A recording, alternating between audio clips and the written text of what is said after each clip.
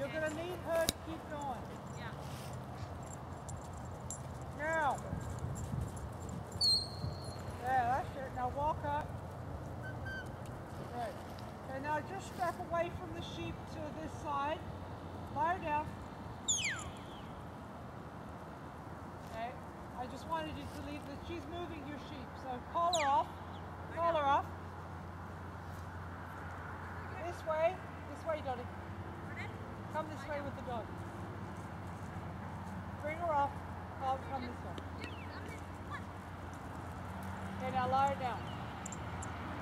Now you come over here. Over here. Now you're going to give her the inside flank on the come by side. Then you're going to blow that whistle when you want it to start going down there. Okay? Go ahead.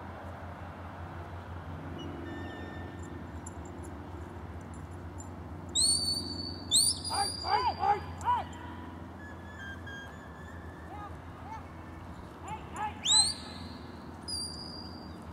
Hey! Just turn them on you. Lie down.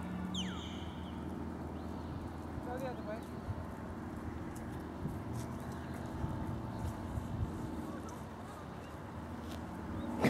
Don't follow me.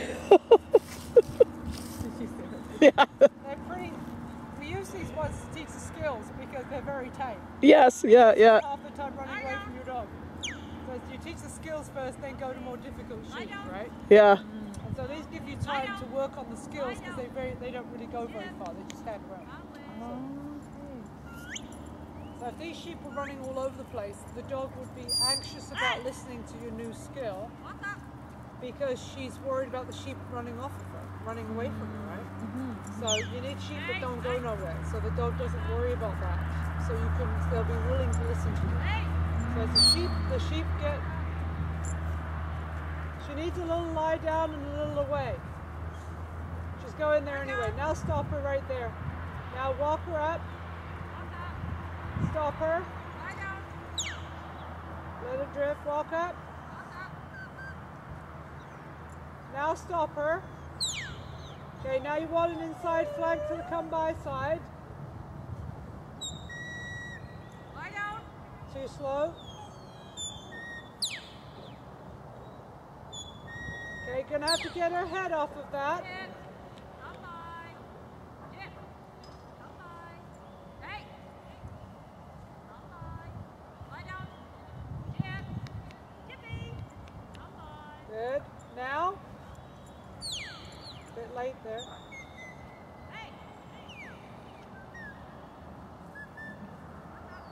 So these inside flanks are for your driving. So when you're standing at the post and you have to drive out to some panels and go through panels, and then drive the sheep across the field in front of you, and through two more panels and back to you. These are the flanks, the guiding steering wheel, a little bit to the left, a little bit to the right, that enables you to take the sheep onto lines to get them through those panels. So if you can't move those that dog in front of you back and forward behind the sheep to adjust your sheep, you're not going to make your panels. Okay, the sheep are going to wander where they want to go, and sheep never walk in a straight line ever because they can't see behind them. So for safety, sheep miranda to the left so they can see here, and then they miranda to the left, see there, and then miranda to the right. So they very rarely ever go in a straight line. So then when we're told, right, you've got to do a straight line to that panel, and they don't want you two feet that side or two feet that side or you're losing points, you have to be dead straight online. Because the person that can do that, they have to leave room for a person in scoring. They have to deduct points from you because if they don't, they haven't left any room for the person that can hold the line of sheep and hold them on a dead straight line. Does that make sense? So So it's not enough just to get it through. Um, you have to get them also See, that makes and the one going across, they have to be on the line to the next panel, to the center of the panel. So if they're high and they go up near one of the wings of that panel and then come through, you've lost all the points getting to that panel. So each leg has about point value to it, right? And some judges are nice to say one, you know, 10, okay, we got 20 points, we'll do five, five, five, and five, or something like that. Or, or you know, six, six, and six, or something, and a couple for whatever. Um, other judges will say, I'm going to deduct, I might deduct full 20 for here if you're offline. Like I'll just keep hitting you until you show me you're making an effort to get back online. So your your sight, your eyes have to be really good at anticipating when the sheep are going to start stepping off, because that's what he's looking for. He's watching the heads of the sheep, and every time the heads go left, and your dog has to move, he's taking points off. Because you shouldn't have to move your dog if you're going in a straight line, Oh, right? If you're on a pretty straight course going to that panel and your dog's holding that line, the sheep wouldn't be going left and right. Possible to have the dog something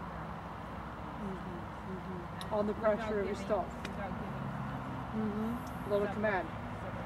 hmm That's Is what he's dog- looking for. Is the dog allowed to move around if you're not him subway command? Does the dog what to do to get them to go straight? They get they get to know if they if they're good at holding pressure. They get to know if you set them on a line, they just keep going. So if we set them on a line going down this field, my my good dogs would just take them dead straight mm. because they get on the pressure. You whistle them on forward. You're not So there is, a, there is a way.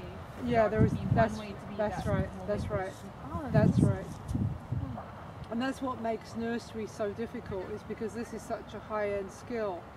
To get young dogs to do it at such an early age is very hard. And so the ones that can do it are elite dogs. And so they're a little bit more classed as the elitist type dogs. So there's only usually 150 to 180 of those dogs in the whole of North America under the age of three that can run at that level what we're trying to get Gyppy trained up to, my dog's trained up to for next year. Dorothy can run novice, I can't run a novice. So she can she can run in novice class and also run Gyppy in the nursery if she's ready. Um, as long as she's got to have her driving down. She's got to be able to move that dog around the plot, anywhere, which way, here, there, everywhere. And the dog's got to do what she asks.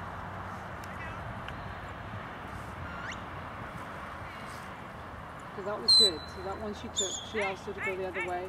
And then they've got to be on whistles as well, right? So, because you can't, at 200, 150 yard drive, you, the dog can't hear you that well in you voice, right? And it's the whistle gets in faster when you voice well, so because of the wind and everything.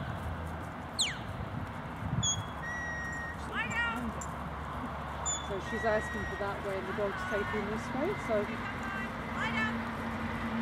Jeff, come on. Lie down. Lie down. So dog's, dog's made up her mind. She's going this way, and although Dorothy's stopping her to when she goes that way to tell her, you're, that's her correction for you going the wrong way, and repeating that command, the dog's saying, well, two more steps, and I could just have them turn to you. So, because their instinct is to bring the sheep, not take them away from you. And so you're fighting instinct, you're overriding instinct when you take them away from you. Because the whole dog's job is to go on the hill and bring the sheep to the farm, right? And to gather all the sheep in and bring them back to you. Okay, that's the dog's instinct. You there's no instinct in taking sheep away from you. And so that you have to train into the dog. So they start to understand it's also a job I need you to do. Not just bring them, but I need you to take them the next mile down the road. and need you to push them all down there as well, not just bring them back to me. Otherwise, if you had a thousand sheep, you'd be spending a lot of time trying to move them around. they just keep bringing them. Lie mm down. Lie down. Lie down. Did you rethink that command? Yes. Lie down. Lie down. Okay. Lie down.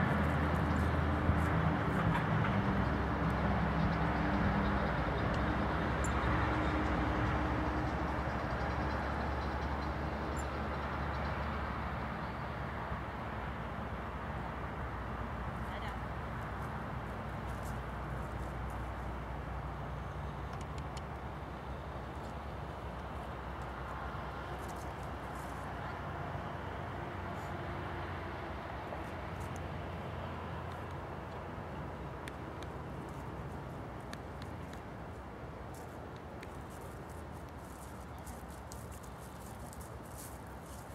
Can you handle it? High pressure for young dogs. You get him in there and it's like, what am I going to do from here? It's like, I gotta And go. then it's sort of launch. I gotta go. I I've gotta go. get him out of there now. now put him in there.